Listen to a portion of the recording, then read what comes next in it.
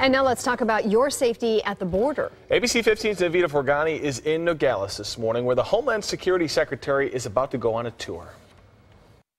Janet Napolitano arrived here at Nogales International about an hour ago. She pulled up in that Coast Guard plane that you see right behind me. Her security team and Border Patrol agents were on standby for more than three hours before she arrived. And I'm told she's not going to be here very long. This tour is closed to the media.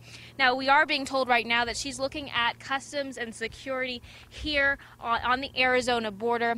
And the Department of Homeland Security is being extremely tight lipped about her visit, but what we do know, this is not her first visit to the border. She's made similar visits to El Paso and San Diego earlier this month.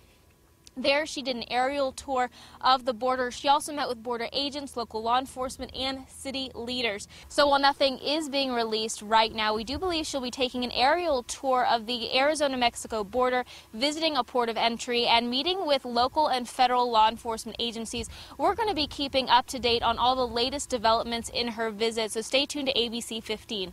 In Nogales, Navita Fergani, ABC 15 News.